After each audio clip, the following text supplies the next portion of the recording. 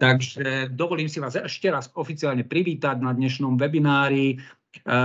Účelom tohto webináru a aj všetkých v rámci série, ktoré robíme, je, aby vás autorské týmy za jednotlivé vzdelávacie oblasti a predmety informovali o zmenách, ktoré sa v novom štátnom vzdelávacom programe udiali, specificky v oblasti vzdelávacích štandardov.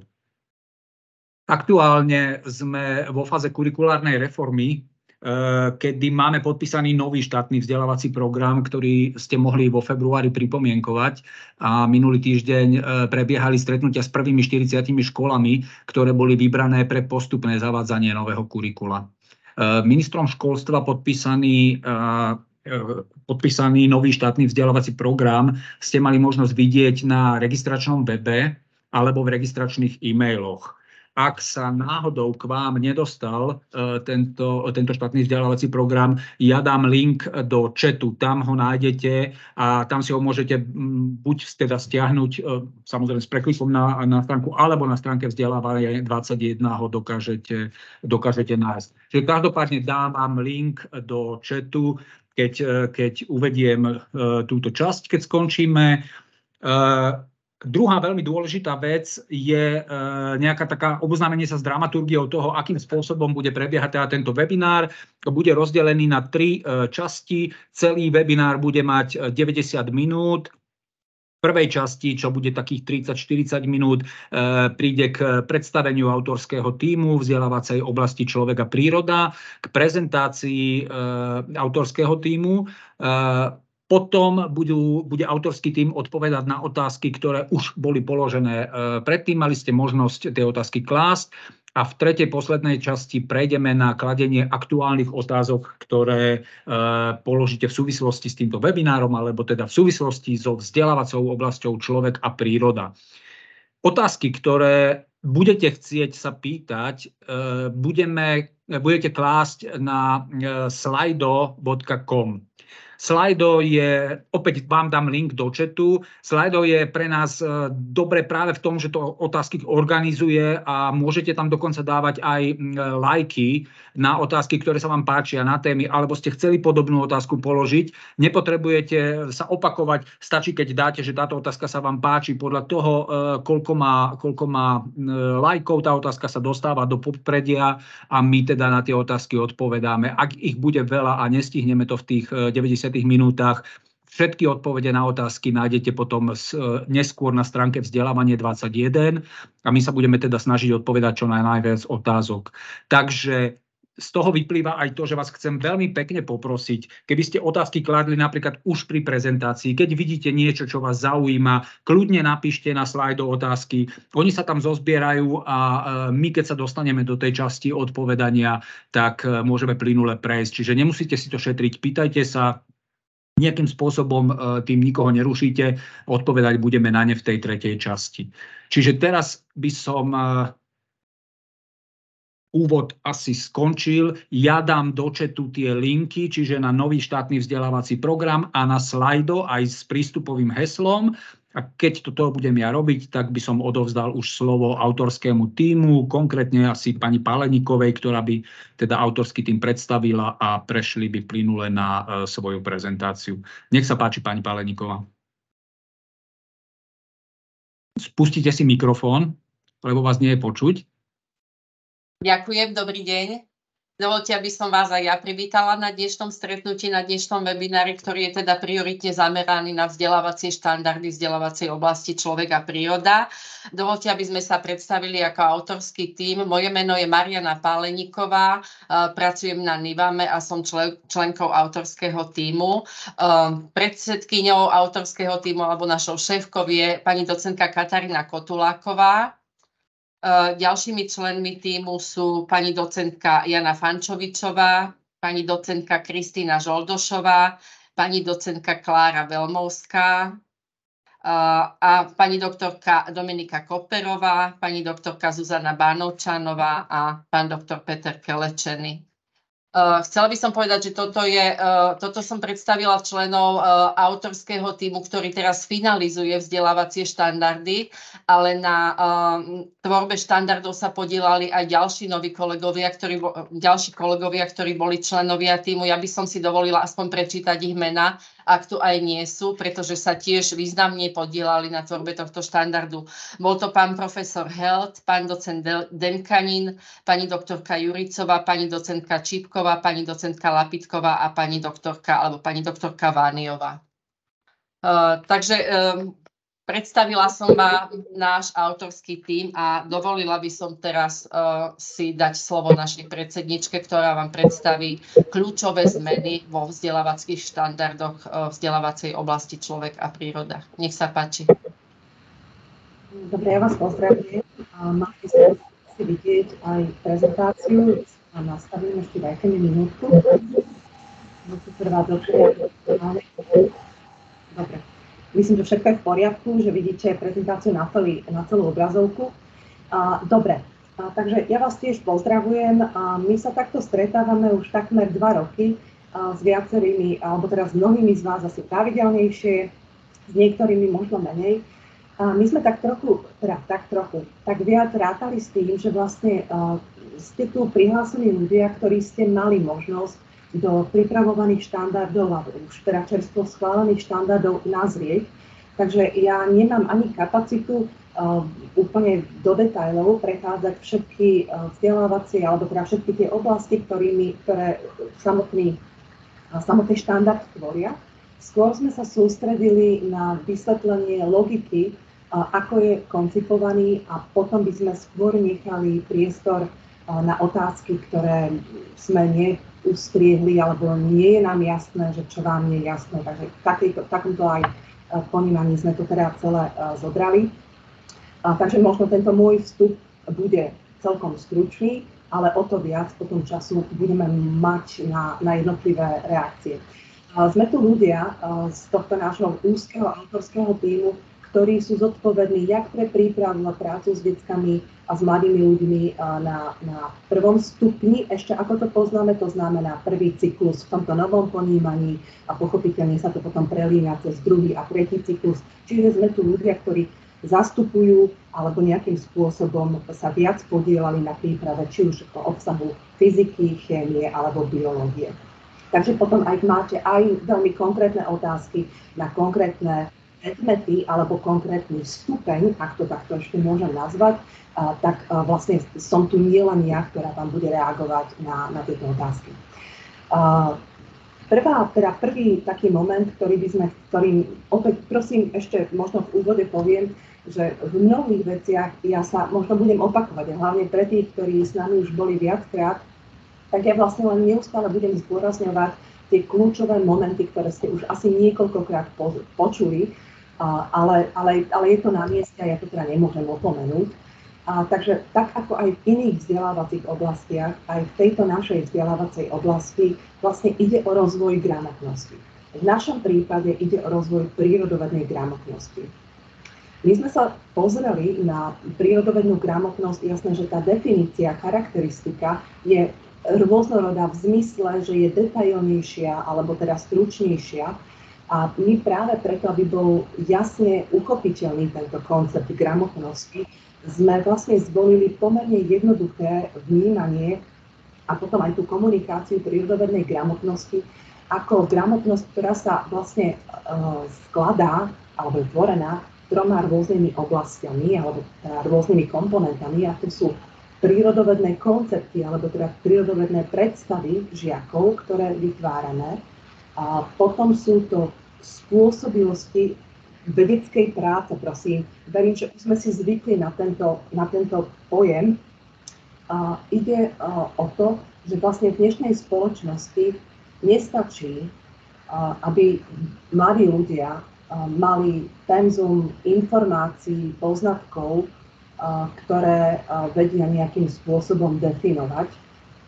Ale v dnešnej dobe je nevyhnutné, aby sa vedeli k týmto informáciám prepracovať, aby vedeli sami získavať relevantné údaje, relevantné argumenty, aby ich vedeli vyhodnocovať, aby ich prípadne vedeli analyzovať a zhodnocovať. Čiže to, týmto je myslené, alebo teraz sú myslené tieto spôsobilosti získavať a pracovať s informáciami a vytvárať a takýmto spôsobom sa dopracovávať týmto prírodovedným konceptom. Keď hovoríme o nejakých stratégiách a postupoch, tak pochopiteľne, že nebavíme sa len o izolovanej spôsobilosti, povedzme, pozorovať, alebo izolovanej spôsobilosti merať, ale častokrát hovoríme o akomsi klastri. Máme nejakú otázku, máme nejaký výskumný problém, ak chcete.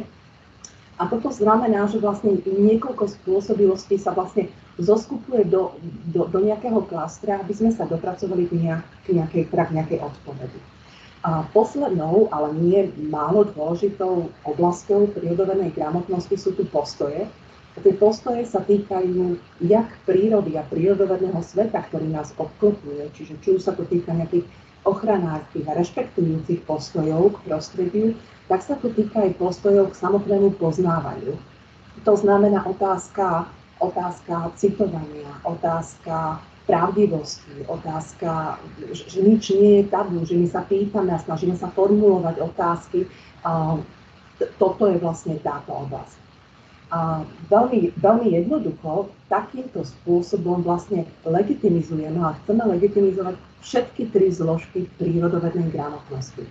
A my sme možno boli zvyknutí a aj podľa vašich otázok a reakcií a, sa zdá, že neustále sme o mnoho citlivejší vlastne na tú, na tú prvú oblasť. Také prírodovedné koncepty, ktoré tvoria viac menej ten obsahový moment, aj obsahový štandard, ako o chvíľu uvidíte, aj v našich teda prírodovednej, prírodovednej oblasti. Ale tým, že my sme mali alebo dali legitímne miesto aj týmto dru, teda v druhej a tretej oblasti prírodovednej gramotnosti my ich potrebujeme a chceme rovnako, teda v rovnakej miere našim mladým ľuďom, našim deťom a teda mladým ľuďom, žiakom sprístupňovať a rozvíjať. Ja vysvetlím o chvíľu, ako sme teda na to išli. A vy už možno poznáte, už vlastne už pri samotných teoretických, pri samotnom teoretickom vstupe do vzdelávacej oblasti sme vám predstavili tento trojdimenziálny model prírodovednej gramotnosti. A tu nám vlastne vidíme, že, že sú tu nejaké, my ich nazývame nosné myšlienky, oblasti, obsahové pokrytie samotnej vzdelávacej oblasti, ktoré nie sú v tejto chvíli delené na nejaké predmety. Sú to celé ucelené koncepty, tu nám vnímajte pojem látka, pojem evolúcia, ako akési adresy, za ktorými sa skrývajú celé myšlienky. A teda práve tieto obsahové momenty, alebo teda týchto 10 nosných myšlienok, ktoré pokrývajú živú, neživú prírodu, pokrývajú fyziku, chémiu, biológiu, pokrývajú vedy o Zemi, tie vlastne tvoria tzv. ako ho dnes poznáme, obsahový štandard. Tento obsahový štandard, ak teda ste videli ten dokument, tak je vlastne formulovaný alebo vyjadrený cez rôzne pojmy, cez fakty, prípadne vzťahy a akési invariantné dôležité činnosti, prostredníctvom ktorých sa my vlastne k týmto konceptom, k týmto pojmom, faktom a vzťahom chceme dostať. Čiže my ak chceme aby dieťa poznalo nejaké základné znaky určitých látok alebo živých organizmov, tak nevyhnutne chceme, a je to vyjadrené v tom obsahovom štandarde, aby určitú činnosť robil, aby pozoroval. Aby sme mu o týchto uh, znakoch len nerozprávali. Že my potrebujeme, aby sa dieťa posunulo od počúvania učiteľa, od čítania textov k činnostiam. Ale stále teda v konečnom dôsledku tomto obsahovom štandarde sú definované vlastne tie, tie obsahové alebo teda komponenty, ktoré vlastne vytvárajú ten, ten, ten konceptuálny rámec. Tie, tie samotné obsahy, ako som, nazva, ako som teraz spomenula, sú vlastne vyjadrené tu na v tomto modeli len cez nejaké adresy, cez nejaké jednoslovné pomenovania. To bolo tiež aj kvôli tomu, aby sme našli nejaký jednoduchý nástroj, ktorým tieto, tieto komponenty budeme komunikovať ale ešte raz a zdôrazňujem, oni v sebe predstavujú alebo oni vyjadrujú veľmi ucelené myšlienky. Ja rozumiem a možno aj pramení, mnoho vašich otázok pramenilo z toho, že niektoré veci nám nie sú jasné tak, ako sú vyjadrené v tom štandarde. Do akej hĺbky, čo to znamená, chýba nám tam nejaká kontinuita. No, uvedomme si, že uh, a teda verím tomu, alebo teda takto je to komunikované, že vlastne ten štandard bude sprevádzaný určitou metodikou, ktorá jednotlivé tie nosné myšlienky ešte nejakým spôsobom priplincuje a ukáže na tú celistvosť a prepojenosť daného konceptu v jednotlivých myšlienkach, teda v týchto jednotlivých myšlienkach. Uh, to, toľko asi teda na, na teraz. A teda, že ten samotný štandard ak pôsobí e, niektorá tá myšlienka nejako, že, že tie veci spolu nesúvisia, verte, že súvisia. A keď sa pozriete na dnes platný štandard, rovnako máme tam pojmy, ktoré, som odborník, ja som chemik, tak ja vnímam, že, že pojmy, ktoré v tejto chvíli nie sú v ucelených vetách, že pochopiteľne vytvárajú akýsi koncept, povedzme, o časticovom zložení látok a o rôznom charaktere týchto častíc, a toto je napríklad vyjadrené v tejto prvej myšlienke. Všetky látky, materiály okolo nás sú tvorené časticami. Pochopiteľne, že tie častice majú rôzny charakter. Sú to jóny, sú to molekuly, sú to subatované častice a tie častice navzájom nejako interagujú. Ak interagujú, vznikajú nové látky, ktoré majú úplne nové vlastnosti a tak ďalej a tak ďalej. Čiže tento koncept platí, alebo takáto myšlienka, alebo teda taká, áno, myšlienka je vlastne za každou jednou z týchto nosných, nosných myšlienk. A druhá časť, opäť, ktorú poznáme aj v dnešnom štandarde, sú výkonové štandardy. A tu na vlastne o výkonovom, keď hovoríme o výkonovom štandarde, tak hovoríme práve o týchto spôsobilostiach poznávať a o postojových zložkách.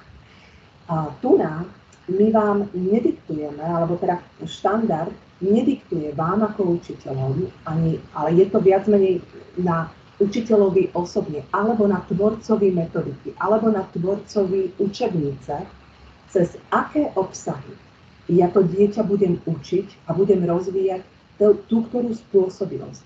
Ak ja chcem, aby sa dieťa učilo a precizovalo spôsobilosť pozorovať, tak ja to môžem robiť na tom, že pozorujem nejaké javy okolo seba na tom prvom stupni, v tom prvom cykle. Že pozorujem organ, teda živé organizmy, alebo pozorujem e, rôzne faktory, ktoré vplývajú na rýchlosť chemických reakcií. Všímam si určité premenné, ktoré budem nejakým spôsobom zaznamenávať a, a zbierať dáta. Čiže tam tie spôsobilosti a postoje prestupujú vlastne všetky uh, tie obsahové komponenty a je na, na ešte raz tvorcovi učebnice, alebo metodikovi, alebo učiteľovi, alebo školskom vzdelávacom programe, akým spôsobom a na ktorom tom obsahu vlastne tieto spôsobilosti bude precizovať. Veľmi veľa otázok a, a aj v médiách to rezonovalo, že, že sa snažíme urobiť akési umelé spojenie chémie, biológie a fyziky do nejakého jedného predmetu, tak ešte raz, a, a budeme to neustále opakovať, že v tom prvom cykle, to znamená prvý až tretí ročník, zostáva ten predmet tak, ako ho stále poznáte. Je to, bude to prvovka, alebo je to tá prírodoveda, už akokoľvek ich nazveme. A ten druhý cyklus, tam sa to láme, tam je vlastne štvrtý a piatý ročník a podľa môjho poznania, teda podľa toho, čo ja takisto sa bavíme o nejakej integrácii tak, ako sme to doteraz vnímali na tom prvom stupni. Čiže budeme sa baviť o jednom a prírodovednom predmete. V tom treťom cykle, kde to najviac rezonovalo, prosím vás, všimnite si, aj keď je to menším písmom, ide stále o to, že tu na, na tom treťom cykle, to znamená 6., 7., 8. a 9. ročník, tie predmety, alebo teda tie predmety zostávajú v nezmenenej podobe tak, ako ich poznáme aj dnes. Čiže je to stále biológia, je to stále fyzika a následne nastupuje chémia. Alebo, prosím vás, alebo tu môže dôjsť podľa, podľa toho, ako, ako si to tá škola nastaví, ak má kapacity, ak má vôľu, ak má ľudí, ktorí vedia nejako tandemovo učiť, vedia im pripraviť podmienky pre nejaké tímové učenie, alebo majú učiteľa, ktorý má aprobáciu chémia, fyzika, tak nech sa páči. Tu je tá možnosť, že vlastne sa vytvorí predmet, ktorý má charakter buď čiastočnej integrácie, čiže ja môžem učiť prírodovedný predmet ako integráciu povedzme chémie, biológie alebo chémie, fyziky. A, alebo tu môže dôjsť dokonca, a, a deje sa to na týchto školách, je to v malom počte, ale deje sa to a tu nás sa to chce legitimizovať, že áno, že, že je tu možnosť učiť tieto tri predmety ako integrovaný predmet, akokoľvek si ho nazvete.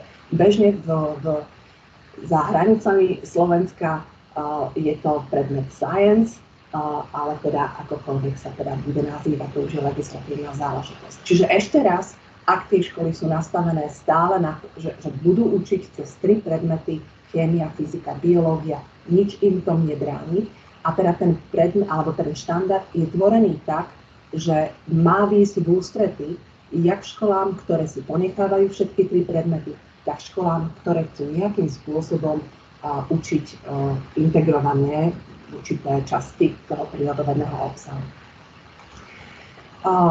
My sme sa snažili, a tu nám vám teda krátku, teda takúto ukážku prezentujem, snažili sme sa jak o vertikálne, tak o horizontálne zladenie a rozvoj vlastne všetkých zložiek prírodovednej gramotnosti.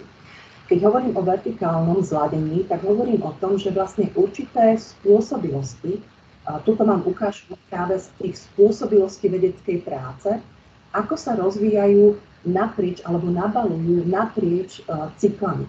Čiže povedzme na konci prvého cyklu, to znamená ten tretiak, by mal byť spôsobilý pozorovať tak, aby získal informácie, ktoré zodpovedia alebo dajú, dajú odpoveď na otázku, ktorá bola formulovaná učiteľom vie, vie vyselektovať alebo vie pozorovať tak a zaznamenávať si tie dáta tak, aby vedel na tú otázku odpovedať.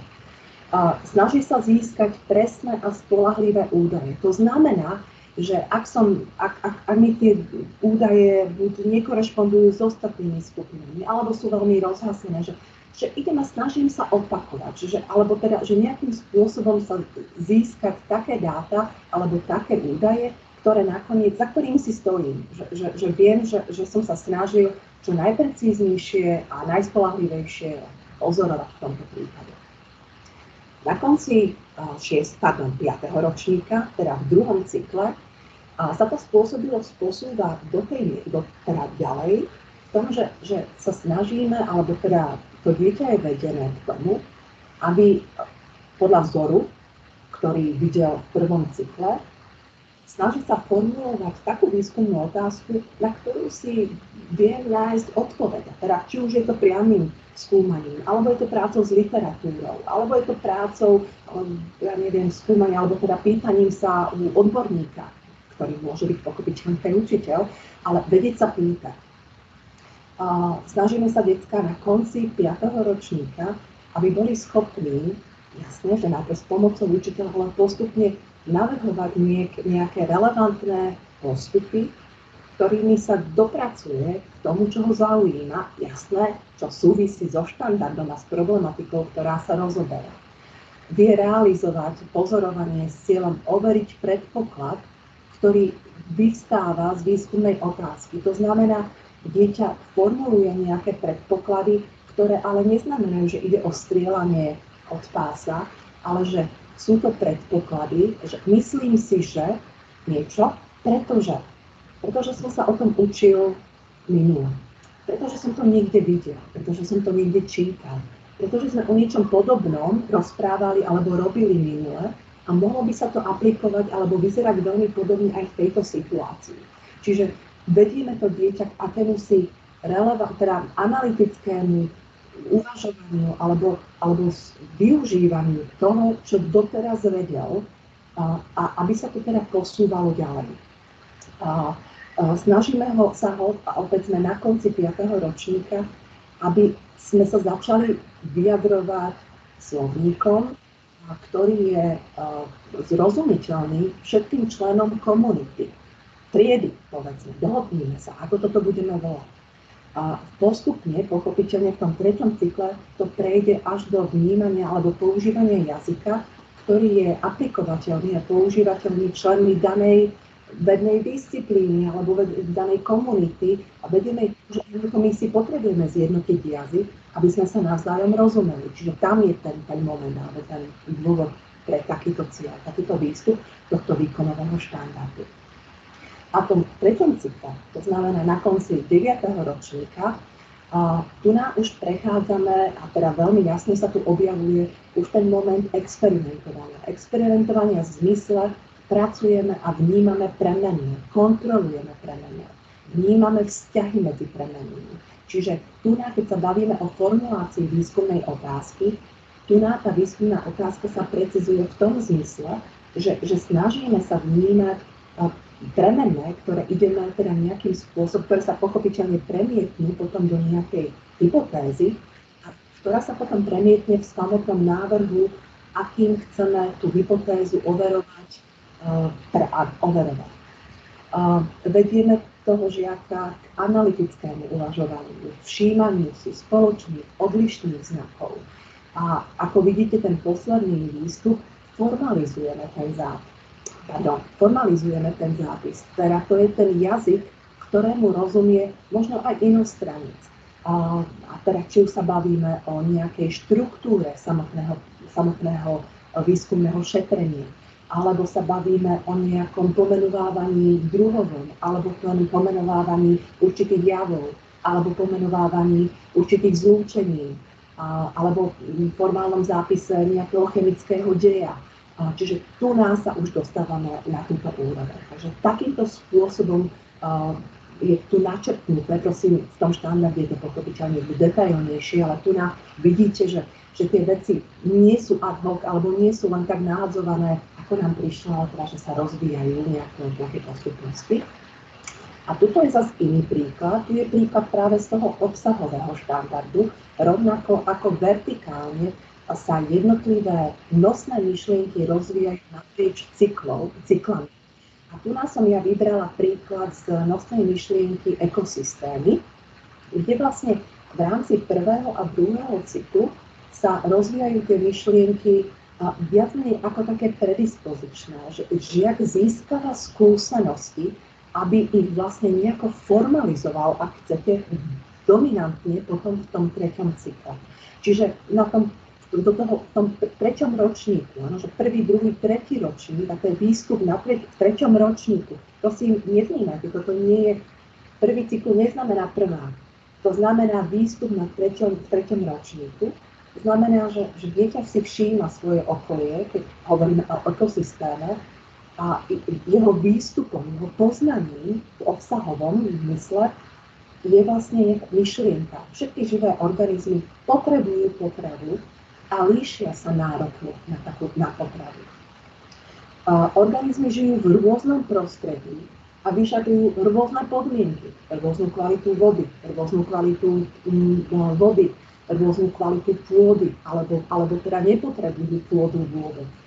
A kam sa ten koncept posúva na druhom cykle, to znamená na konci 5. ročníka, tu si začíname detailnejšie všímať, že tie organizmy sa medzi sebou odlišujú. Začíname si všímať predovšetkým vonkajšiu stavbu organizmov.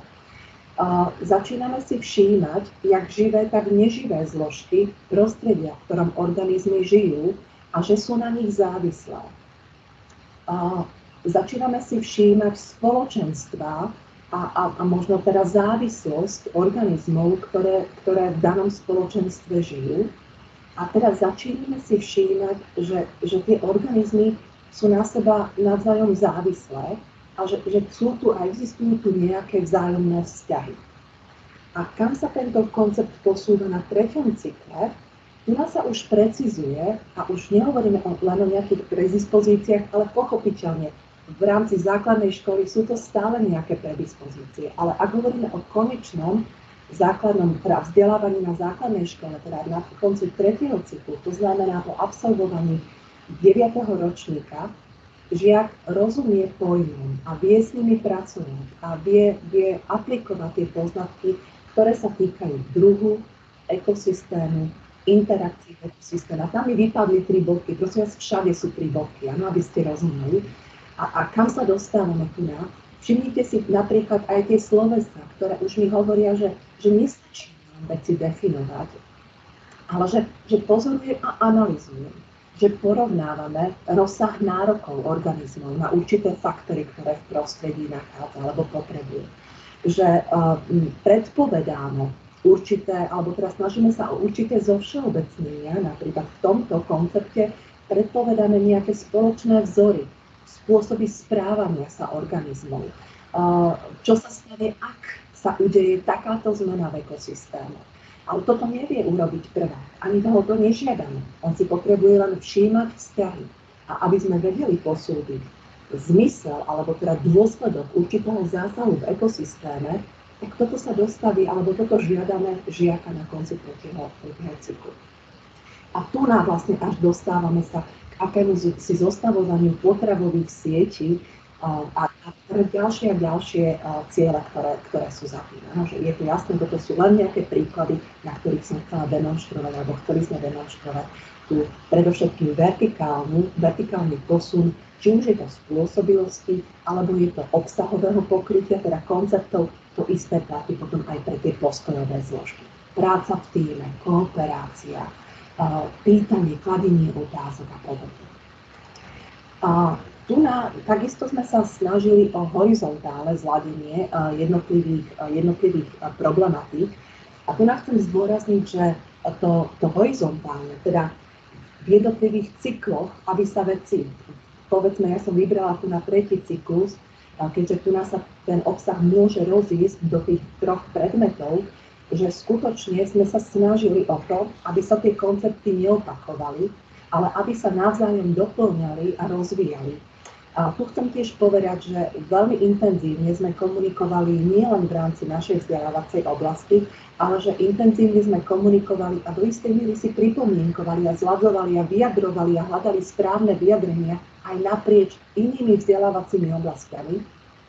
A tu chcem zdôrazniť, že veľmi intenzívne prebiehala komunikácia so vzdelávacou oblasťou človek a spoločnosť. A to v rámci predovšetkým envirotém, tu sú témy týkajúce sa zeme a to, toto, boli, toto bola teda pomerne veľa takých styčných ploch, kde dokonca v niektorých miestach sme nechali mnohé, verím tomu, že dostatočne vyjasnené, aj keď teda možno, že ešte sa na tým budeme musieť teda nejakým spôsobom pracovať, ale teda to ukáže aj teda samotná prax. Rovnako sa veľmi intenzívne komunikovalo s vzdelávacou oblasťou človek a svet práce, kde sa zaoberá problematika, daná vzdelávacia oblasť sa pochopiteľne zaoberá materiálmi, ich vlastnosťami, čiže in, intenzívne prebiehala komunikácia tam. Vzdelávacia oblasť zdravie a teraz mi vypadlo telocvik a zdravie a, a pohyb, alebo teda priznám sa, že teraz mi vypadol názov tej vzdelávacej oblasti, a predovšetkým problematika zdravia, zdravej životosprávy Čiže tam, tam sa tieto veci zosúľadovali. Rovnako, a viem, že teraz mnohých z vás prichádzali teda pod, pod, podnety kvôli matematike. Tu nás sme intenzívne komunikovali rovnako s matematikou, vyjasňovali si, či už teda rôzne matematické operácie a, a viaceré, viaceré tie oblasti. Čiže nezanedbali sme to, teda to chcem zdôrazniť. A, a teda tuto napríklad, aby som vysvetlila práve tú, tú, ten, že ten štandard by mal byť teda použiteľný školy, ktoré budú vyučovať v treťom cykle prírodovedný obsah a prírodovedné predmety, teda zostanú tu prírodovedné predmety, alebo teda pôjde do, do integrovaného predmetu, mal by to byť pre vás stále použiteľný materiál, alebo je to pre vás použiteľný materiál.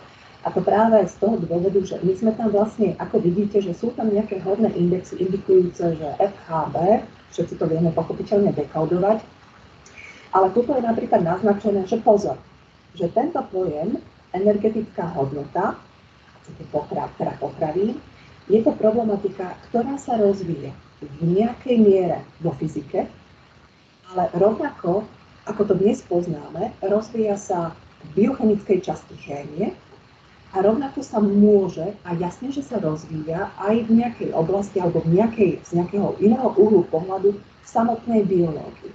A teraz je dôležité, aby ste si toto uvedomili, a teda pri, či už je to pre tvorcu učebnice, pre ktorého je primárne tento materiál určený, že ak ja vytváram tento tandem učebníc fyziky, chémie, biológie, tak ja predsa túto problematiku nebudem v takej istej podobe rozvíjať v rámci fyziky, chémie a potom aj teda biológie, ale z každej, alebo z, každ, na kaž, z každého tohto predmetu sa ja pozriem na túto problematiku z inej stránky fyzika, no možno kalorimetrické uh, zachytávanie alebo teda analýza samotného obsahu, uh, energetického obsahu, ktorý tuk alebo, alebo aj, cukor, teda jasné, že aj bielkovina obsahuje. Uh, z chemického hľadiska, no môžem sa na to pozrieť, že porovnávam práve to, že, že áno, že ja už viem, že potrava obsahuje energiu. Ale teda vyjadrujem sa trošku nepresne a teraz zjednodušene rozumieme, že toto je trošku tak komplikovanejší koncept, ale že vlastne rovnaké množstvo cukrov, rovnaké množstvo tukov a rovnaké množstvo bielkovín neobsahuje, alebo teda nepremienia rovnaké množstvo energie. A tá biológia sa na túto problematiku pozrie predovšetkým zo, zo strany vyváženého jedálnička, alebo teda kedy siahnem po tom cukre, kedy siahnuť po jednoduchom cukre, kedy siahnuť po po zloženom cukre a, a, a podobne. No, čiže a, takýmto spôsobom je, je tuto naznačené, že pozor, tieto koncepty rezonujú vo viac ako v jednom predmete a tým pádom sa na ne treba pozrieť z rôznych hľadisk, alebo nemusíme, v tomto prípade sa pozrieme na to z hľadiska fyziky a biológie. V poriadku, ak sa tvorca učebnice alebo, alebo teda iné metódy na to pozrieť. Takže túto problematiku je zvládnu v rámci dvoch predmetov. Je to úplne v poriadku. A toto je viac menej taký základný vstup k tej, k tej logike toho, ako je technicky, to je správne slovo, koncipovaný samotný teda tento štandard pre vzdelávaciu oblasť človeka príroda.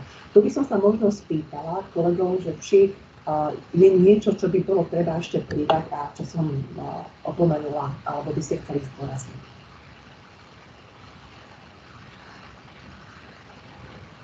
Asi nie. Dobre, tak, tak poďme teda, ak môžem plynulo prejsť, spokojne ma niekto zastavte, ak je treba urobiť nejaké intermezo. A, a ak nie, tak ja by som pomaly prešla k otázkam, ktoré nám boli zaslané dopredu. Uh, tých otázok nebolo veľa. A teraz neviem teraz, že sme všetci zanepráznení, takže nebol na to priestor a, a vlastne rezervovali sme si, alebo rezervovali ste si ten čas, že tie otázky budete klásť tu a teraz, čo je úplne v poriadku. Ja som, alebo vybrali sme, vybrali, to nebola selekcia, ale teraz zoskupili sme do nejakých klástrov také otázky, na ktoré vieme odpovedať a týkajú sa tvorby a samotného teda obsahu, alebo teda štandardov, ktoré som teraz prezentovala. Bola tu otázka alebo otázky, ktoré sa týkali prípravy predovšetkým budúcich učiteľov, na ktorých aj mnohí z nás, ktorí participovali alebo stále participujú na tvorbe tohto štandardu, nejako majú dosah, lebo pripravujeme aj budúcich učiteľov prírodovedných predmetov a či už je to na tom prvom, teda prvom, druhom cykle, alebo je to potom v treťom cykle. A teda či tá príprava budúcich učiteľov v tomto duchu aj prebieha, pretože ako som zdôraznila, že ide nám predovšetkým o činnostný charakter výučby prírodoverných predmetov. A môžem vám povedať za všetkých týchto tvorcov, ktorí sú tu, a teda univerzity, s ktorými komunikujeme, a teda zase, ako tá komunita didaktikov prírodoverných predmetov na Slovensku zase nie je až tak veľká, že všetci sa usilujeme o prípravu v tom duchu, že títo mladí, alebo teda budúci učiteľia sa učia sprístupňovať prírodovedný obsah dominantne a teda induktívnym, induktívnymi činnostnými postupmi.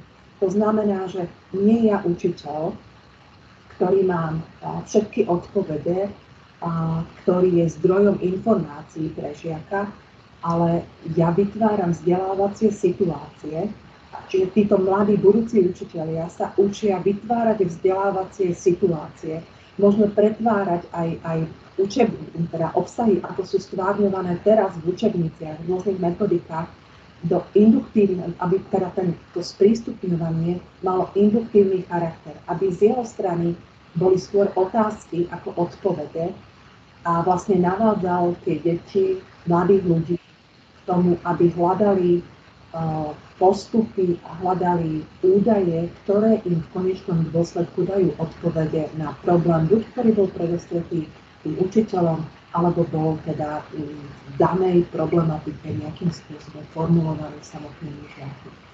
Opäť spýtam sa kolegov, že či by teda ešte niečo dodali k tejto otázke. Dobre, tak som vyčerpávajúca. A, ďalšia taká téma, ktorá sa opakovala, alebo otázka, otázky, pár otázok, stále hovorím o, o, o otázkach na ktoré mi stačia dve ruky, áno, že neboli viac ako 10 menej, a, že, že, sú tu, že zdá sa vám, a, že, že sa tu témy opakujú.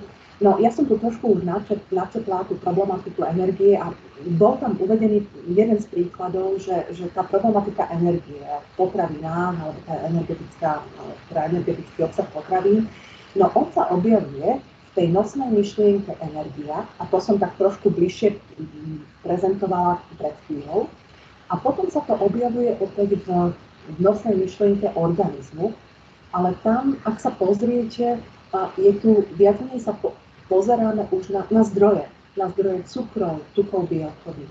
Pozeráme sa na ich uh, zloženie, čiže pozeráme sa na mikroštruktúru a áno, rezonujú tu aj tie zdroje ako zdroj energie my to odtiaľ môžeme dať preč, ale zároveň je to toto, čo vlastne dominuje tej biochemickej zložke v chémii, alebo tomu pohľadu, ako, ak, alebo tomu, ako sa tomu problematike venuje biológia.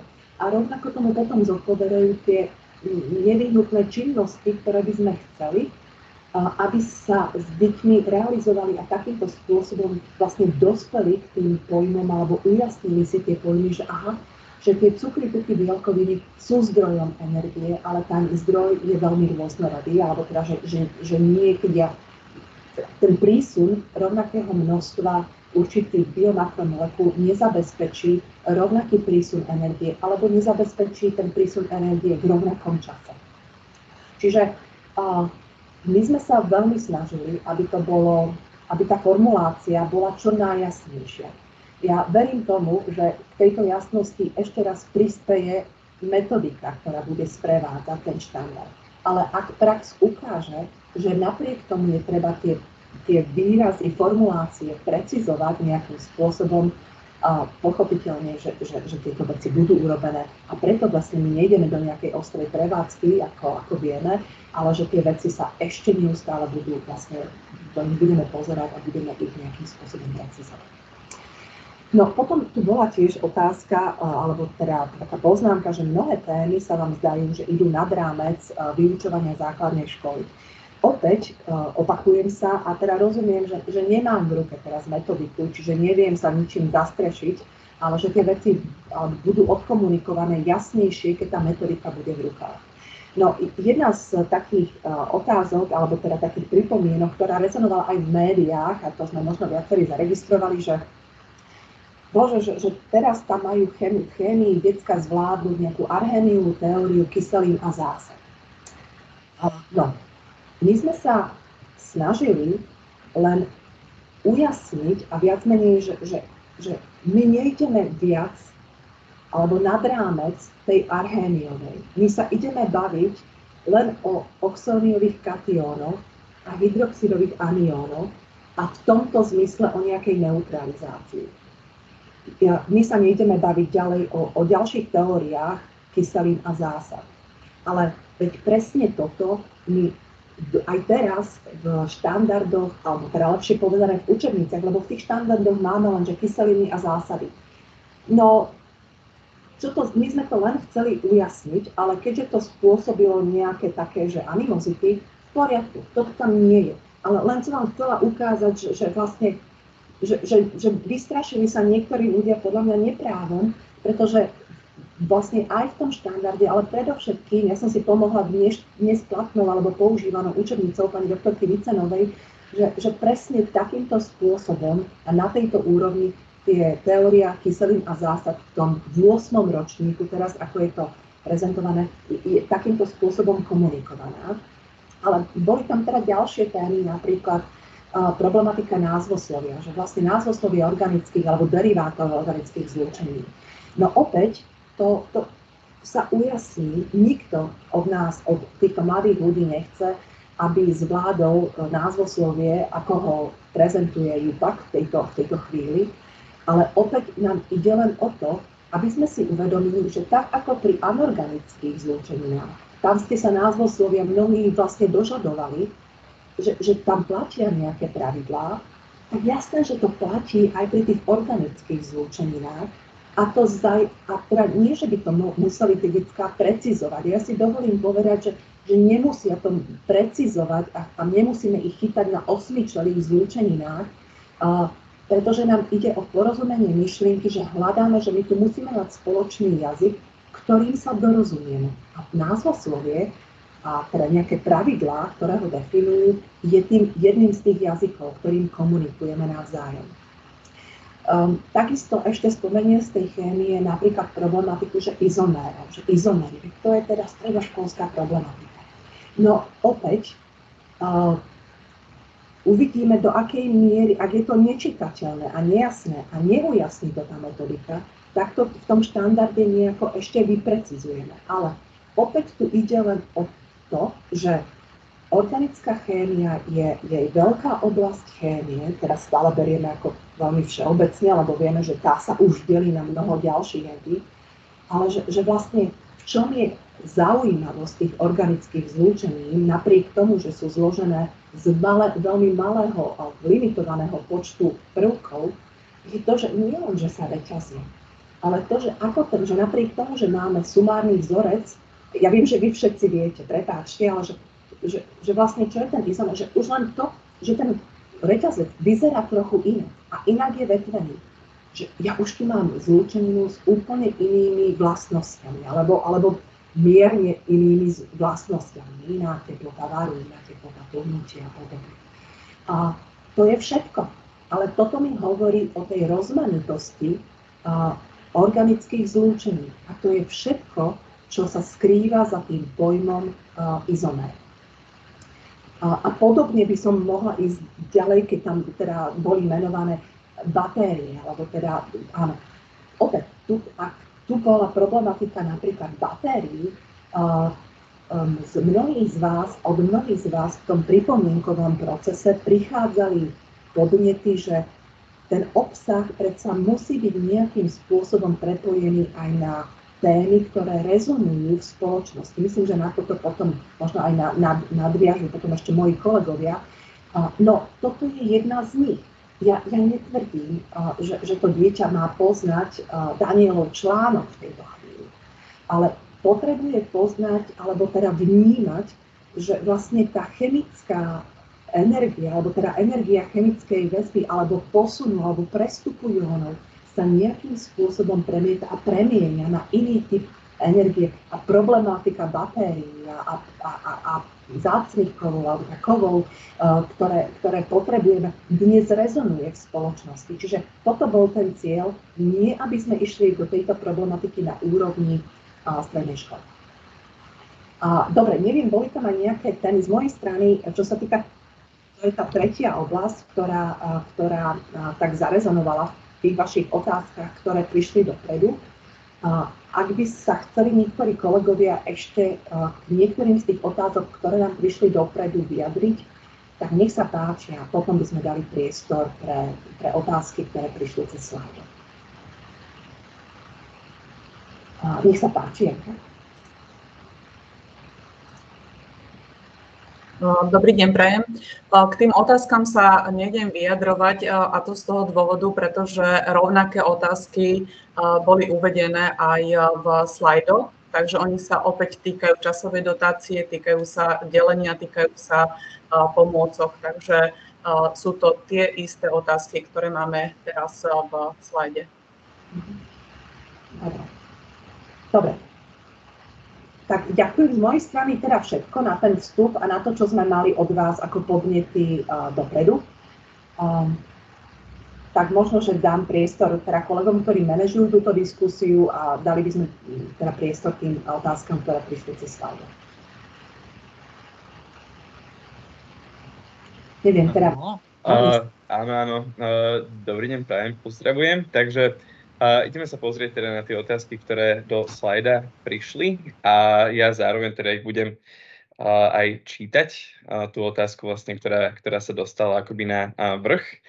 A prvá otázka, ktorá má teda aj najväčší počet tých uh, lajkov, označení, tak to je otázka, či bude možné v treťom cykle, aby spoločne učili dvaja alebo traja učitelia predmet Science, a ako potom s úväzkami. Ja, ja by som iba rád špecifikoval, že v prípade, ak prichádzajú otázky, ktoré uh, autorský tím si zhodnotí, že nie je v kompetencii na to odpovedať, ako to aj teda nie je, ja by som aj rád poprosil teda pýtajúcich sa, aby sa hlavne pýtali na tie otázky, ktoré sa týkajú štandardov, tak ja vždy dám možnosť autorskému týmu uh, prípadne zvážiť nejakú odpoveď a v prípade, keď poviete, to nie je v našej kompetencii, na to pán Kiš odpovedáte, prosím vy, tak uh, s radosťou to spravím. Dobre? A k tomuto ja by som len povedala, že ja som bola prítomná na vyučovaní a na viacerých školách, ktoré takýmto spôsobom tímovým vyučovaním už teda realizovali a nebolo to len tu a tam, ale že takáto forma vyučovania uh, už bola dokonca aj doteraz úplne legitímnou súčasťou vyučovania, že tam bol tímový, že tam boli dvaja učiteľia. Bol tam jeden vedúci učiteľ a bol tam učiteľ, ktorý pomáhal práve pri tej skupinovej práci, pretože tam bola celá trieda. Čiže to bolo náročnejšie, keďže tam bolo nejakých 25 detí. A, a takže takýmto spôsobom mali vlastne dvojhodinovku v piatok ráno. Úplne teraz si pamätám na tú jednu školu, ale nebola to len jedna. Čiže to, ja, to, to z mojej strany len teda, že tá, tá, tá prax je, je už reálna. Uh, ďakujem veľmi pekne. A ja by som iba rád uh, tak upriamil tú pozornosť na to, že, že takéto rozhodnutie, že či sa napríklad využíva na tej danej škole tandemové učenie alebo aj iné formy vyučovania, projektové učenie a podobne, ktoré teda uh, využívajú to znásobenie zdrojov tým, že učiteľia sa spájajú, aby niečo vyučovali, tak je to v kompetencii škôl sa takto rozhodnúť a uh, štát nechce a nemôže predpisovať uh, tie metódy toho vyučovania. Existuje k tomu veľké množstvo aj materických a podporných materiálov.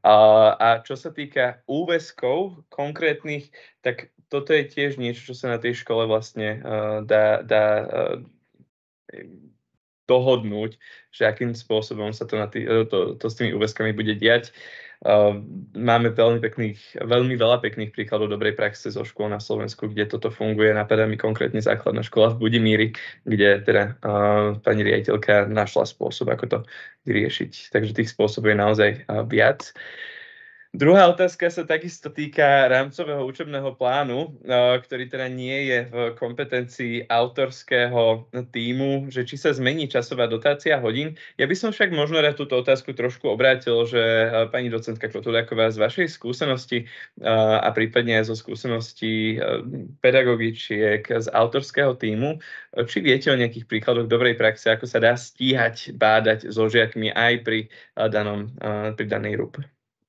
Uh, ja len teda opäť prosím uh, tých uh, škôl s dobrou praxou je, sú dnes už desiatky a, a, a bola som prítomná na množstve, vyučo, na množstve takéhoto typu vyučovania v desiatkách škôl.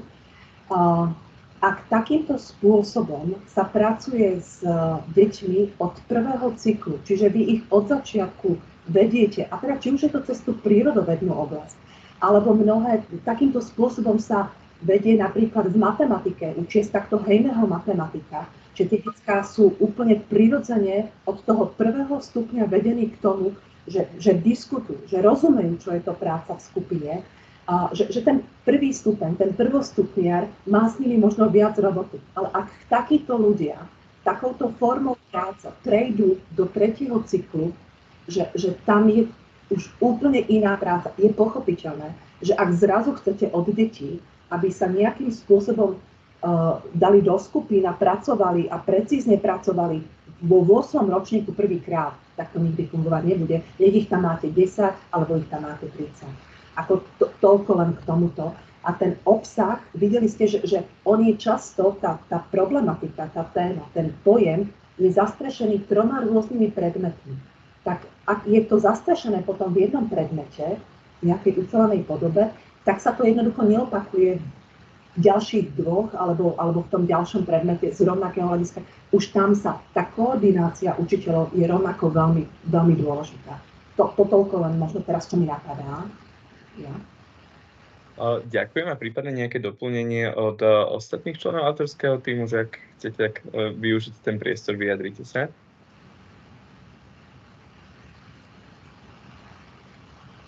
A v prípade teda, ak nie, tak by sme sa išli pozrieť aj na tú ďalšiu otázku. Ono, ak by som odpovedal vlastne za Národný inštitút vzdelávania mládeže, Um, tak um, momentálne je časová dotácia tých hodín a rámcový učebný plán uh, už uzatvorený a veľmi dôležitá bude uh, v rámci tejto kurikulárnej reformy aj tá cyklická revízia, ktorá je teda vložená do štátneho vzdelávacieho programu, že vlastne na ročnej báze sa dokonca bude ten štátny vzdelávací program revidovať práve na základe dát práve na základe spätnej väzby z škôl, ktoré ten nový štátny vzdelávací program už implementujú a začína sa to teda už tým budúcim rokom a tými 40 školami, ktoré sa na tom podvíjajú.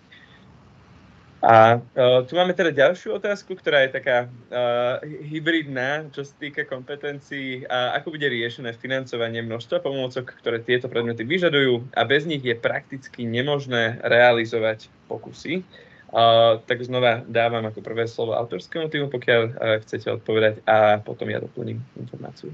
Dobre, opäť začnem ja, ale budem veľmi rada, ak ma podporia, alebo teda skúsenosti sú, sú veľmi rôznorodé z našich, z našich teda aj od, od iných kolegov, ktorí pracovali na tomto. Za prvé, teda nič takto. Ja som dostala takú spätnú väzbu, kedy si už pred rokom a pol, keď som na takomto fóre spomenula, že ja sa snažím svojich študentov, teda budúcich učiteľov chémie, viesť k tomu, že všetko sa dá všade. Či sme vonku na dvore, alebo sme v triede, alebo sme v perfektne vybavenom laboratóriu.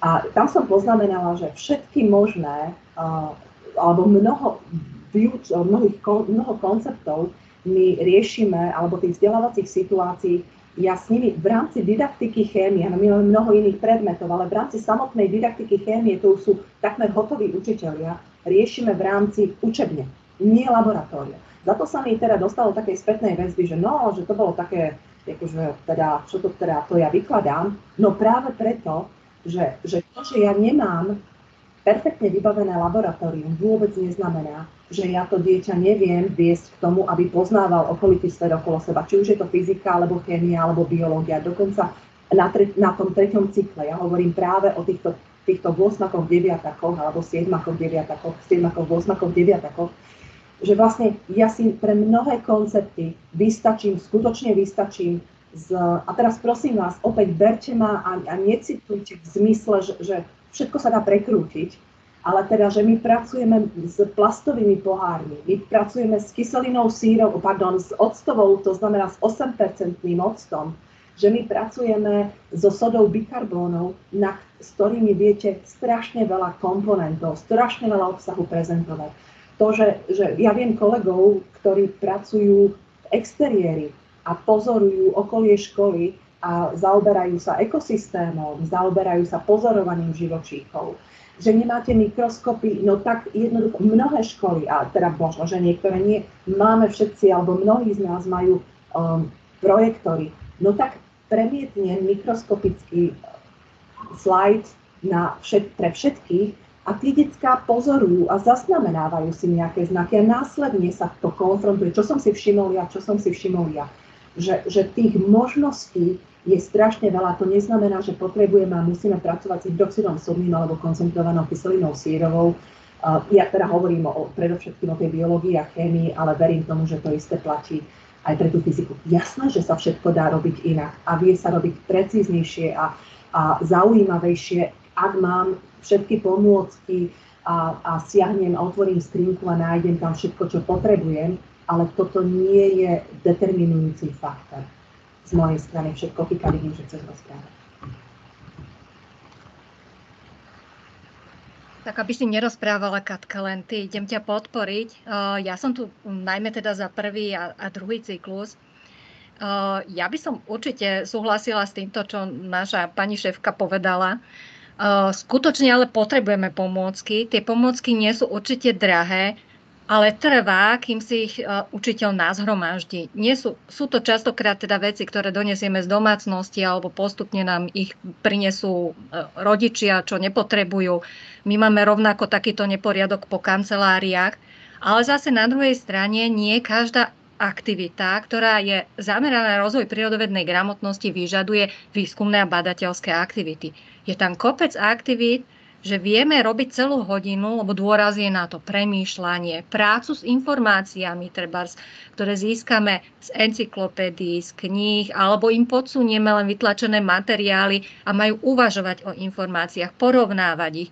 Takže nebrala by som to tak, že na každú jednu hodinu potrebujú mať pripravené obrovské množstvo pomôcok. Tiež uh, riešime, ja neviem, slanú vodu, tak potrebujem dva poháriky so slanou vodou a vodou bez soli a uvažujem nad tým, ako odlíšim jednu, druhu, podsuniem im nejaké informácie. Nejde vždy o to mať veľmi veľa a drahých pomôcok. Možno len to je taký ten prvý podnet, že vidíme tam, to je postavené na bádateľských a výskumných aktivitách a že potrebujem určite laboratórium a pomôcky. Cez ten prvý rok, ako si prejde tým učiteľ, možno si nazhromaždí tie pomôcky a nebude to vnímať ako, že to bolo tak extrémne náročné alebo také drahé.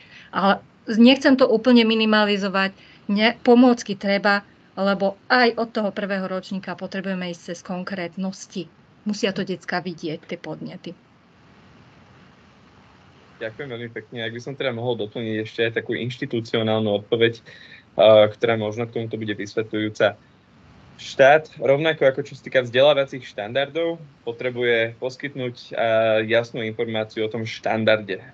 Rovnako ako je štát povinný poskytnúť aj to základné materiálno-technické vybavenie, aj ktoré sa týka tej výučby. A pokiaľ tá škola nemá zabezpečené naozaj, že, alebo že máte pocit, že nie sú zabezpečené tie základné materiálno-technické štandardy, ktoré by vaša škola použil, potrebovala aj pre výbavu um, hej, na vyučovanie uh, vo vzdelávacej oblasti človek a príroda, tak uh, ono aj z mojej učiteľskej skúsenosti som mal vždy takú, tak, tak, tak, taký návyk, že pozrel som si metodiky a pozrel som si materiály a učebnice, čo, kto, čo k tomu existuje a zistil som si, že či sa ten štandard náhodou nedá naplniť aj nejakým menej komplexným spôsobom, ako na teda napríklad uh, tým mikroskopom alebo, alebo rôznymi inými uh, pomôckami a tých materiálov a učebníc je teraz naozaj veľa, najmä teda v angličtine, samozrejme celosvetovo, ale aj v slovenčine.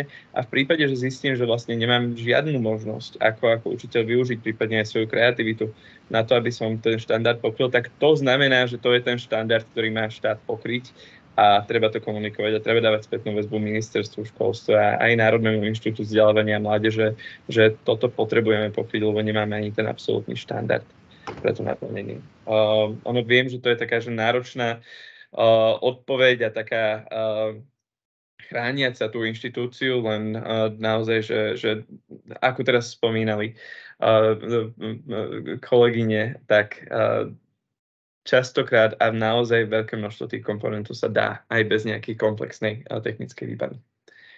Uh, ja by som teda prešiel na ďalšiu otázku. Vlastne máme 20 minút dokonca a tých otázok je dosť veľa, tak budem potom aj ja stručnejší. Uh, máme tu, myšlienky sú dobré, len by bolo potrebné, aby ste vy spolupracovali s autormi metodík a učebníc. Učím už 20 rokov na prvom stupni. Deti majú radi bádania a pokusy, len treba k tomu čas aj dostatok učebných pomôcok, čo je občas problém. Aj v tejto oblasti treba poskytnúť uh, školám pomoc s financovaním ono znova sa to kvázi akože týka tej istej uh, otázky, ako to predošle. A páči sa, povedzte. Pre istotu zareagujem, aby sme to úplne neobyšli, lebo sa tam trošičku objavil teda aj ten prvý cyklus, aby sme sa toho nebáli. Objavujú sa tam trebárs aj také témy ako horniny, nerasty a, a teda, že ich máme skúmať a, a tú rôznorodosť, ale nakoniec uh, v obsahovom štandarde deti nemajú, že majú vedieť rozlíšiť horniny a nerasty napríklad. Takže ide o skúmanie akýchkoľvek kameňov v podstate laicky povedané, ktoré nájdú deti a myslí sa skúmanie rôznorodosti akejkoľvek a s najbežnejšími pomôckami, ktoré vieme uh, mať k dispozícii. Takže ja neviem, tú tvrdosť minimálne vieme odlíšiť, čo e, rípe do skla, čo nerípe do skla, akú tu má štruktúru, je jednofarebný, rôznofarebný, je akoby zlepený z viacerých kusov.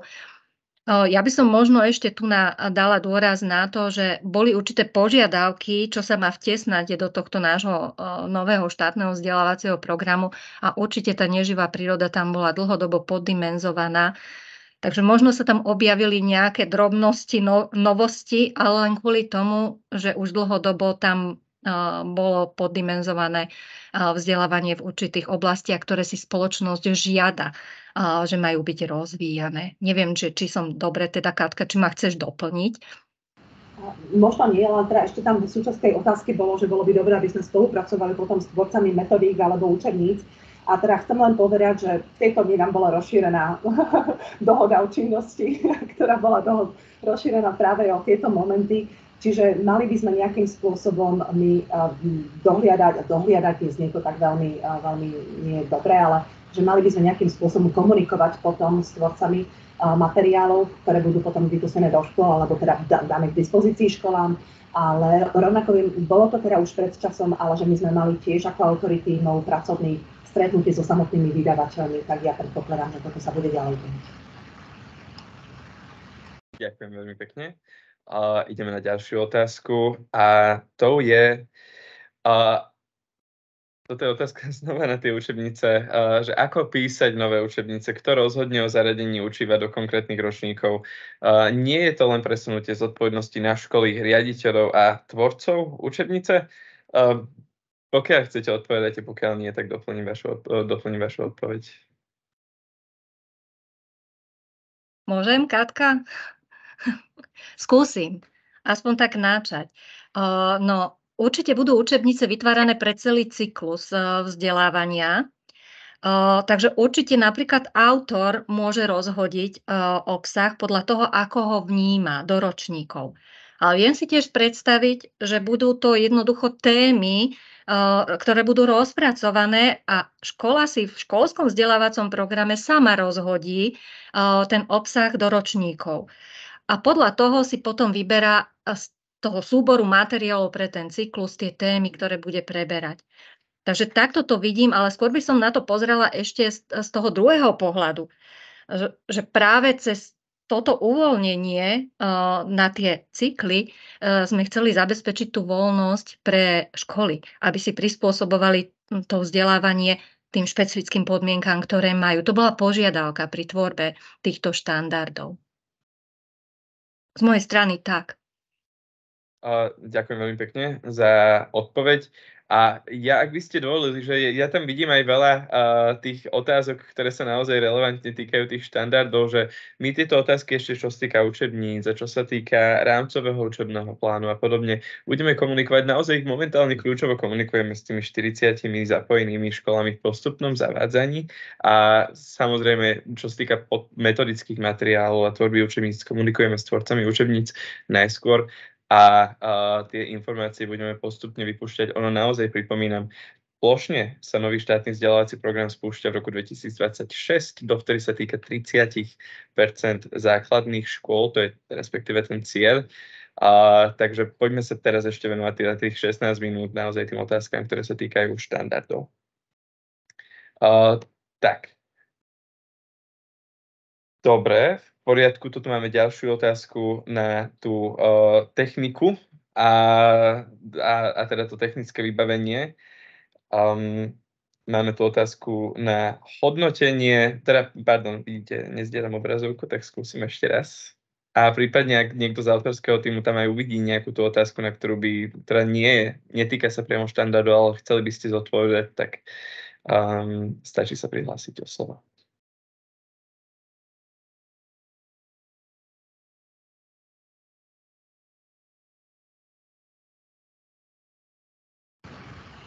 Je, je to dosť náročné takto prechádzať. Možno, že skutočne uh, dohodneme sa, že poďme teda postupne, možno na čo vieme zareagovať a to, čo zostáva, tak ako bolo povedané na úvode, že, že to zosta- zodpovieme v nejakej podobe, ale priznám sa, že, že asi to bude na, na komunikované teraz cez neviem, akú platformu, skúste mi pomôcť, ale nerada by som vyznela, alebo aby sme vyzneli, že niektoré otázky uh, ako mlčky prechádzame a tvárime sa, že ich nevidíme. To, to, to, to neplatí. No?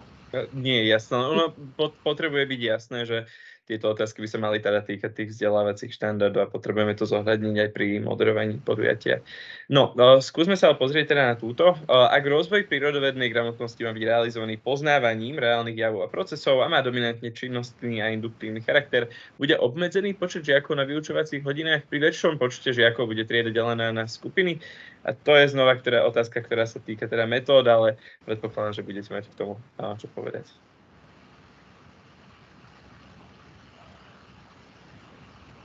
My sme túto požiadavku, ešte raz, my nie sme tvorcami legislatívy. Ako, akokoľvek to znie alibisticky, nie je to výhovorka.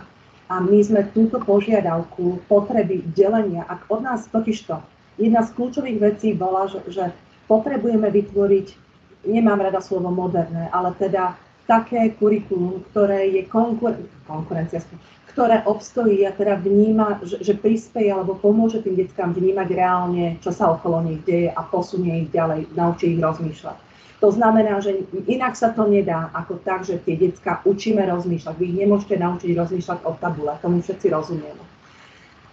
To znamená, že naša podmienka a je jasne komunikovaná v teoretických východiskách ešte k štandardu pred rokom a pol, že na to je nevyhnutné zabezpečenie organizačné pre školu, pre učiteľa, pre triedu.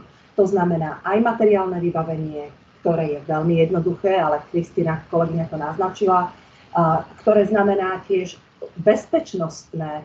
Či, to znamená, že ja nemôžem, keď mám otvorený kahan a pracujem s plameňom na tej chémie, tak mať tam 30 detí, a celkom, ako už som to videla zvládnuť, ešte raz, ak, ak tie detská pracujú takto od prvého ročníka, aj to je zvládnutelné. Ale ja sa netvarím a nechcem, aby ste si mysleli, že, že potrebujem byť kúzelníkmi.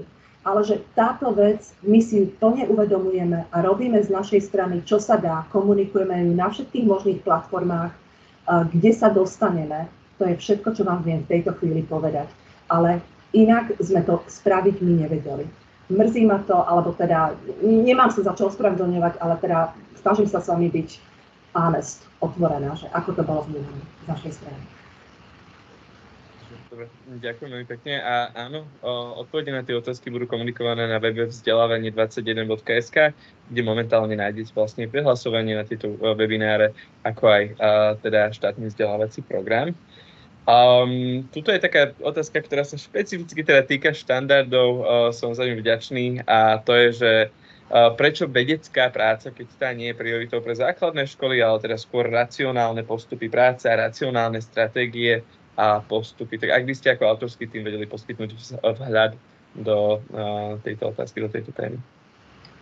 Dobre, ja začnem, ale prosím vás, pridajte sa ku mne opäť. Ja som to v úvode vysvetlila. Ten pojem pochádza úplne z medzinárodného ponímania tejto spôsobilosti ako Science Process Skills.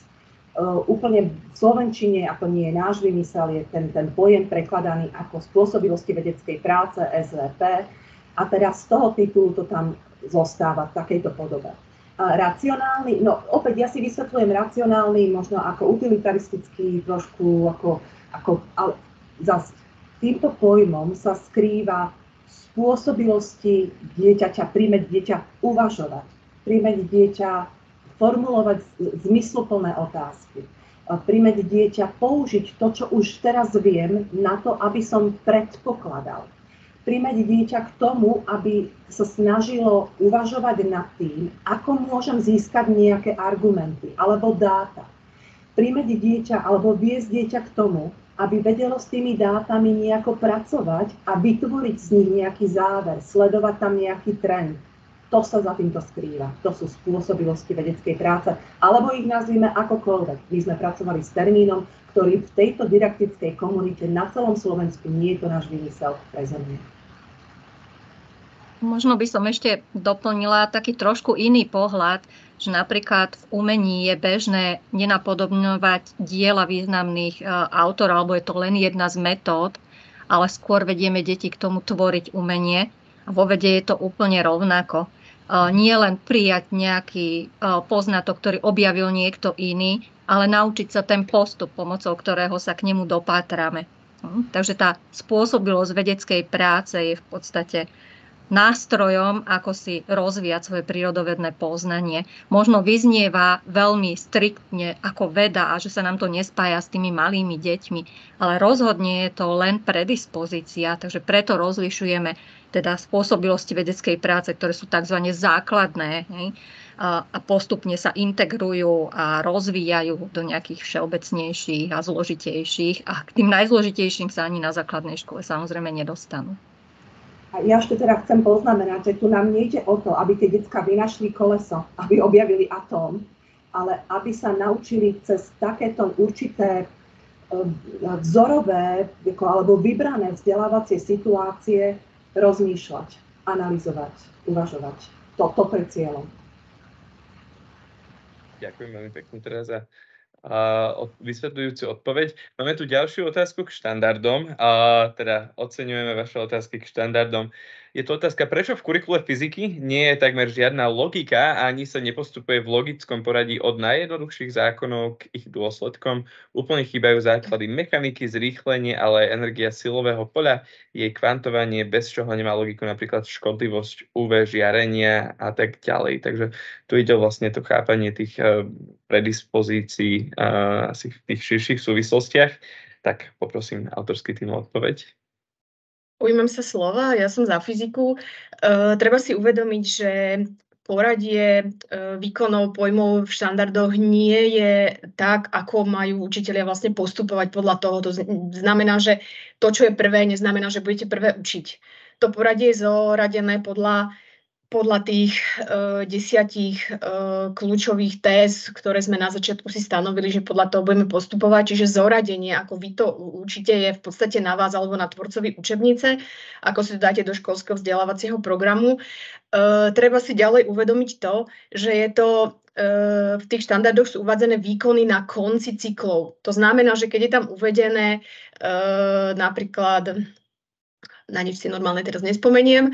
Uh, spomínate tu uh, napríklad to, to zrýchlenie. Máme tam napríklad rovnomerný, rovnomerne zrýchlený pohyb. Hej, čiže toto je ten výkon, ktorý na začiatku tú činnosť, ktorú má žiak vedieť. To znamená, že bez toho zrýchlenia sa nepohne. Nerozpisovali sme tam, že e, úplne všetko dopodrobňa, len to, čo má vedieť na tom výstupe. Čiže jasné, že keď sa chcem baviť o tom rovnomerne zrýchlenom pohybe, tak to zrýchlenie musím, musím s ním mať uh, zvládnuté, ale explicitne to tam nie je napísané, lebo to sú naozaj výkony, ktoré má žiak dosiahnuť na konci cyklu. Tak by som to asi uzavrela. Ďakujem veľmi pekne za odpoveď. A máme tu ďalšiu otázku, ktorá sa priamo týka štandardov.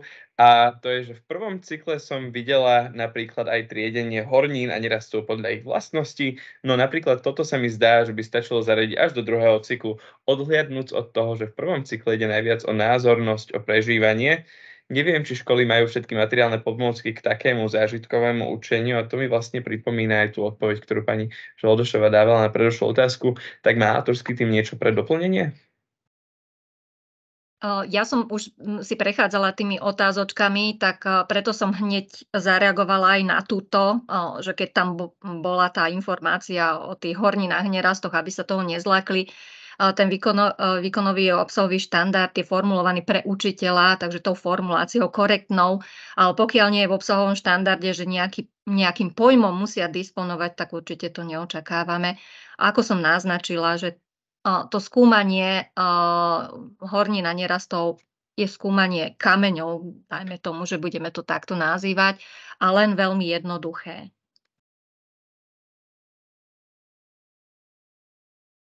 Ďakujem teda veľmi pekne za odpoveď. A poďme sa teda pozrieť ešte na tie zvyšné otázky s tým, že uh, prejdeme si, ja skúsim na ne naozaj stručne odpovedať na tie, na ktoré uh, mám kompetenciu odpovedať. A uh, prípadne, pokiaľ by ste chceli niečo doplniť za autorský tým, tak uh, povedzte. Tu tuto je otázka, prvá vlastne, ktorá má najviac tých uh, lajkov, je, že uh, teda sympatizujem teda s tým, že uh, hovorí niekto za všetkých prírodovedcov, že milujú bádanie, ale pokiaľ nie je stála miestnosť na pokusy, to znamená, že sme pri tom vybavení, všetko si nosíte z triedy do triedy, väčšinu kupujete zo svojho, áno, a k tomu musíte bežať na dozor, často nezvládnutelné. A otázka je, že či ste robili už pokus s triedou, kde je 30 detí plus uh, IVVP žiaci. Dobre, robila. Robila a rozdelila som ich na... Ale teda ja vám tu nejdem dávať návody, ani sa nechcem tváriť, že mám odpovede na všetko.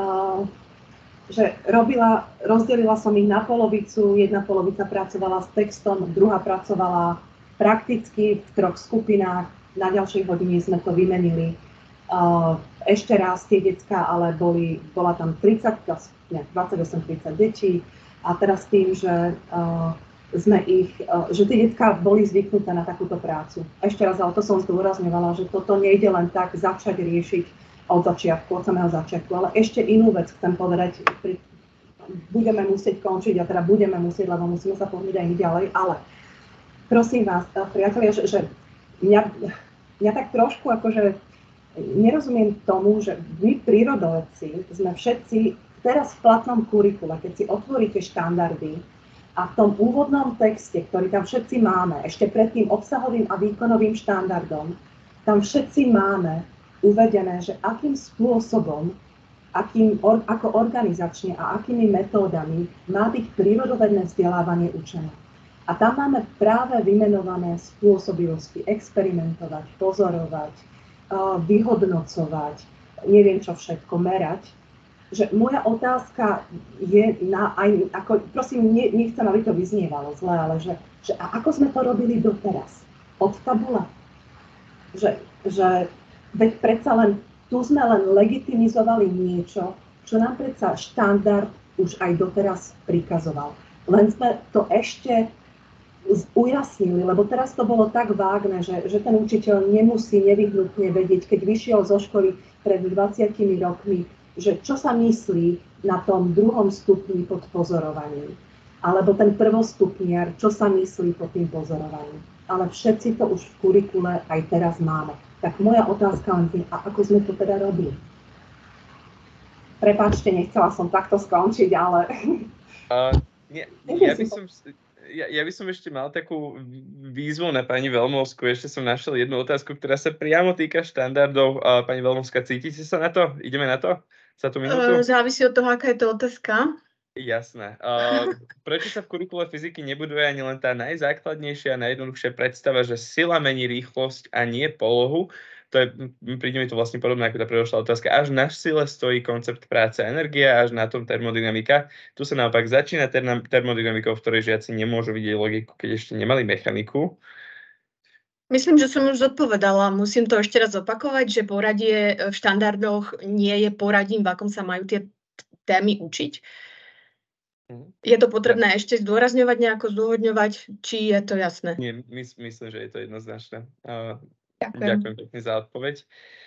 Dobre, v poriadku. Ja by som ešte uh, raz rád pripomenul, že tie otázky, ktoré neboli zodpovedané, uh, budú zozbierané a či už sa týkajú štandardov, alebo či už sa netýkajú priamo toho týmu autorského a tých štandardov, tak budeme na ne odpovedať za Národný inštitút vzdelávania a mládeže. Ja by som rád veľmi pekne poďakoval tak autorskému týmu vzdelávacej oblasti Človek a príroda za to, že si teda vyhradili tento čas na to, aby odpovedali naozaj na tie prvú, tú prvú várku otázok ešte v období, kedy od septembra iba 30, 40 škôl začína skúšať nový štátny vzdelávací program aj s podporou uh, NIVAMu a s podporou ministerstva školstva. Uh, ešte bude viacero kôl otázok a odpovedí a najmä na základe tých dát z tých prvých škôl budeme vedieť aj viac. Uh, veľmi pekne vám ďakujeme za teda účasť a odpovedanie tých otázok. Veľmi pekne ďakujeme účastníkom a účastníčkam za to, že ste sa teda pripojili a že ste zvedaví a za to, že bádate. A uh, veľmi rád by som vás ešte poprosil, aj v kontexte toho, že tých webinárov ešte bude organizovaných viac, ak by ste prosím mohli venovať dve minúty času a pozrieť si dotazník, ktorý som poslal do četu so spätnou väzbou, tak vás veľmi pekne poprosím, nájdete si chvíľku času, odpovedajte. Ak bolo niečo, čo oceňujete a odporúčali by ste to aj ďalej na ďalšie webináre, dajte nám vedieť. A ak vidíte priestor pre zlepšenie, tak to prosím tiež dajte vedieť. Um, práve na základe tej spätnej väzby môžeme veci zlepšovať. Uh, ešte raz vám veľmi, veľmi pekne ďakujem a uh, prajem vám pekný zvyšok večera. Nahrávku tohto webinára nájdete potom na vzdelávanie21.sk ešte v priebehu apríla. Ďakujem. Dovidenia. Dovidenia. Dovidenia. Dovidenia. Dovidenia. Dovidenia.